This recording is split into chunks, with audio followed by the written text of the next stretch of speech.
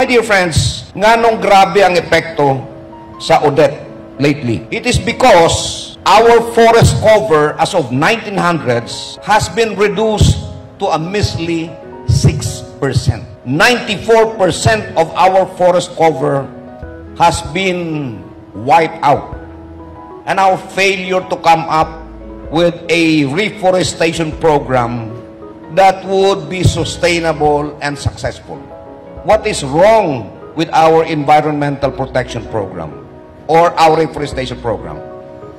Ang problema sa atong reforestation program is the fact that we have focused only on environmental issues. Wala nato i-consider nga para makumbinsin nato ang mga tao nga magtanom og kahoy, we have to tell them, hey, plant a tree today, you will earn money next year. Therefore, we have to present a hybrid idea where reforestation should also promise the stakeholders compensation. And that's why I developed a nursery and I grow giant bamboo propagules. I'm giving out 1,000 planting materials of giant bamboo for every province. So hopefully I'll be able to distribute bamboos to about 80 provinces all over the country. What is the purpose?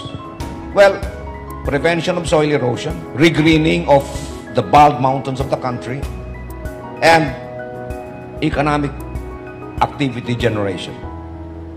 Bamboo is the wood of the future. It is now being processed. It is now accepted in the U.S. as a housing material. In fact, we are starting to export bamboo already.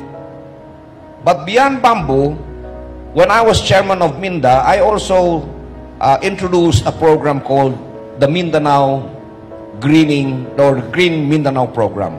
Nga dapat ang atong approach is hybrid.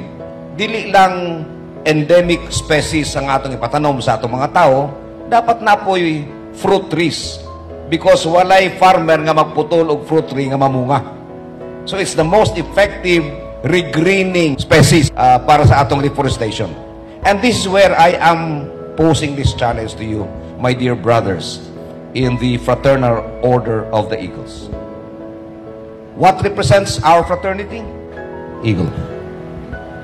My question, have we done anything to protect and preserve that bird that symbolizes our fraternity? Have you planted a tree? Have you been aware of the fact that we are losing our forest fast? And the moment we lose our forest, we lose our water. And the moment we lose our water, we lose our agriculture. So my challenge to you today, my dear brothers in the fraternity is this. Our organization, our fraternal order, is represented by that big bird that symbolizes our national bird, symbolizes our fraternity. We are 6 million all over the country. What if, my dear national chairman of the regional governors, please present this to the national board. What if every member of the Eagles fraternity would plant 100 fruit trees or 100 kawayan every year? 6 million, that's 600 million trees. Easily in five years, we will be able to plant 3 billion trees and that will make the Fraternal Order of the Eagles as the most outstanding organization in regreening the Philippines.